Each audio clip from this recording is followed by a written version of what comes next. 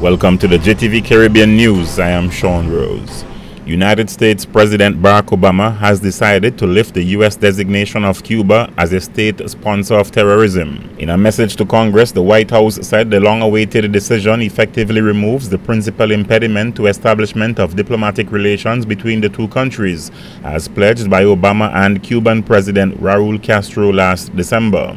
Congress has 45 days to consider Cuba's removal from the list before it becomes effective but cannot interfere with Obama's decision without voting separate legislation, a measure that the White House has deemed unlikely. Raul Castro met with Barack Obama at the Summit of Americas in Panama on April 12. It was the first time the two countries' leaders held a formal meeting in more than half a century. At a news conference in Panama on Saturday, Obama said the majority of the American people, as well as the majority of Congress, approve of his opening to Cuba. More in this BBC report. The moment was fleeting, but it's taken more than half a century to get here. A formal handshake signifying an attempt to move on from the enduring Cold War hostility between Cuba and America. At the Americas Summit, Barack Obama said this was an historic moment. The United States will not be imprisoned by the past. We're looking to the future and to policies that improve the lives of the Cuban people and advance the interests of cooperation in the hemisphere. Now, uh, this shift in U.S. policy represents a turning point for our entire region. For his part, Raul Castro launched a familiar and long tirade against Yankee imperialism in the region. But then something very unfamiliar. Y pienso que su forma de ser obedece a ese origen humilde de él. He lavished praise on President Obama, saying he was an honest man and that what had happened before was not his fault. What had gone before was a series of calamitous missteps on both sides. After the last official meeting, when Fidel Castro met then Vice President Nixon in 1960, came the Bay of Pigs fiasco, an ill fated attempt by CIA backed rebels to overthrow the regime. And then, most dangerous of all, the Cuban Missile Crisis, when the world came to the brink of nuclear war over the sighting of Soviet ballistic missiles near Havana. Since then, relations have been icy cold. This regional conference of Latin American leaders doesn't normally attract that much attention, but this year is different. It has become the Castro and Obama show. Important for Cuba and America, yes, but important too for the rest of Latin America. This is obviously a historic meeting.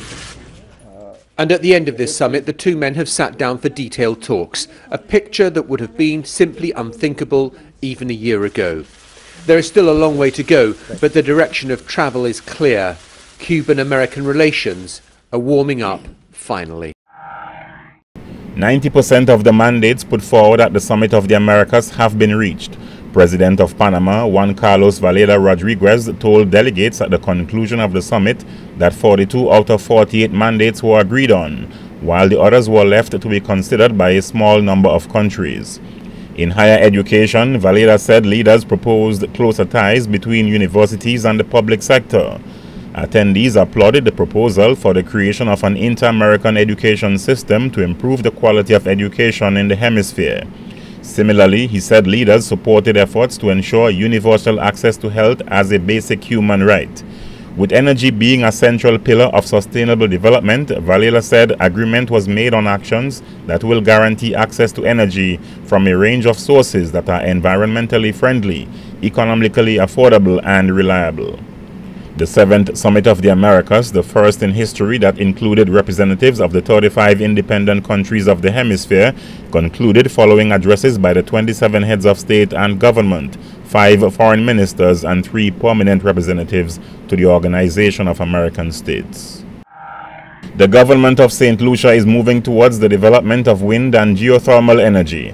St. Lucia has erected a test tower to help assess the potential for the construction of a 12 megawatt wind farm in Dennery, the first utility scale renewable energy project on the island. The test tower will be used to collect data on wind speed, wind direction, humidity, and barometric pressure for about six months.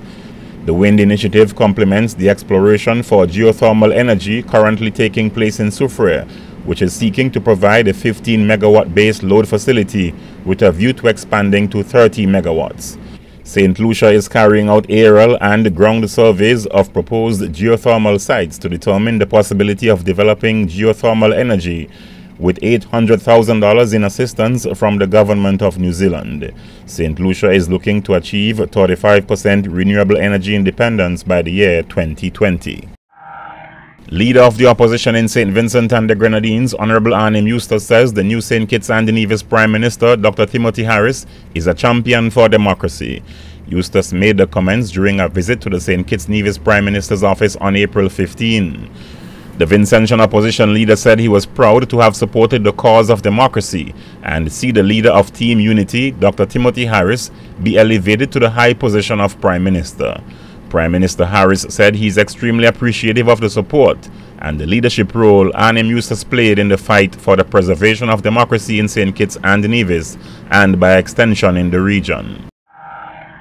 And finally, in this week's Caribbean News segment, the Jamaica Government Dangerous Drugs Amendment Act 2015, commonly referred to as the Ganja Law, came into effect on Wednesday, April 15.